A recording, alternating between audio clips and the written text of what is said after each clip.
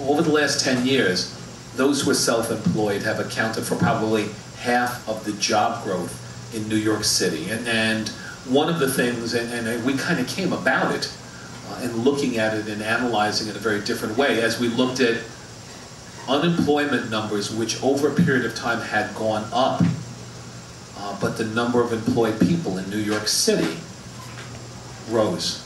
And it wasn't just, you know, as I said, you can have ups and downs, but there was some things that threw us off. And as we were going back and forth in the office, and then you came down, you, you started to break down other numbers rather than just the unemployment numbers.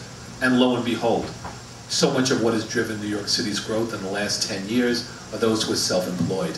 And one of the things that was amazing, if you look at the growth over a period of time and analyze the numbers, from the mid-1970s, from 1976 to number was about 8% of our city's workforce was self-employed. The number today is 16%. So it is a much larger group of individuals who are self-employed and a number that continues to grow in New York City and be of major importance to this city's future and economy. Why is it a good thing uh, for our city? Well, first, as I point out, that's a big piece of our job growth. In addition to that, it is, if, as we've looked at self-employed individuals and they've come to New York City, a larger group of those are younger people. So many of those uh, are well educated, and in addition to things, uh, a lot of the creative talent in New York City these days continues to be those who are self-employed.